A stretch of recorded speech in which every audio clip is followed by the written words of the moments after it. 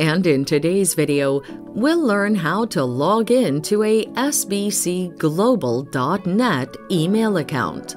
Watch this video until the end to find out how you can do this. sbcglobal.net email account login process. You can log into your sbcglobal.net email account by following these easy steps. Open the AT&T sign-in page at signin.att.com in your computer browser. The link is in the description. You'll see a sign-in form with a user ID field. Type in your sbcglobal.net email address in this field type the Continue button. A new sign in form will appear with a password field.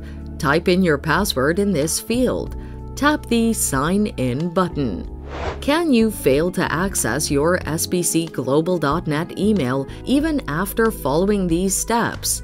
Yes, a login attempt may be unsuccessful using this process if you input the wrong password. Therefore, ensure you type in the correct password. If you can't recall your password, select the Forgot Password link in the second sign in form. Follow the successive prompts and reset your password. So there you have it. You can use these steps to log in to your sbcglobal.net email address. Thanks for watching. Till next time.